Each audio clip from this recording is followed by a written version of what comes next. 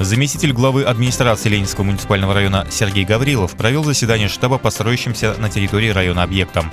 По состоянию на сегодняшний день на объекте Молоковской участковой больницы устраняются недостатки, выявленные ранее. В детской школе искусств в поселке Развилка ведется работа по выбору цветового решения фасада здания. Ведутся подготовительные работы для заливки бетоном в строящемся дошкольном учреждении в Горках Ленинских.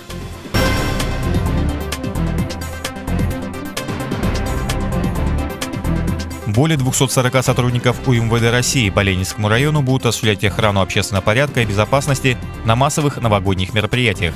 Также будут привлечены работники частных охранных организаций и члены станичного казачьего общества. Проведены рабочие совещания с организаторами и устроителями данных мероприятий по выработке комплексных мер, направленных на недопущение террористических актов и экстремистских проявлений.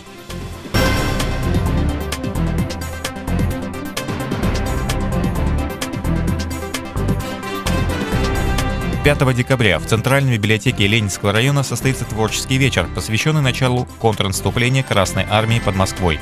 В программе «Душевные песни и стихи». Вход свободный. Начало в 17 часов.